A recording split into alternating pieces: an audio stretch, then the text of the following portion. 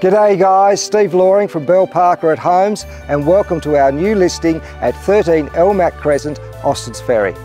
This delightful modern three bedroom, two bathroom home with the potential for a fourth bedroom or rumpus room under the house is full of features to make day-to-day -day living more functionable, enjoyable and energy efficient.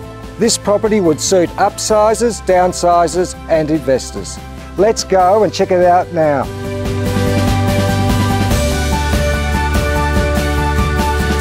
The heart of any home is the kitchen, and this kitchen is large, featuring a pantry, a gas cooktop and breakfast bar, utilising stone bench tops and blackwood cabinetry. The adjoining dining area has a northerly aspect ensuring all-day sun, leading to the covered entertaining deck, perfect for family gatherings.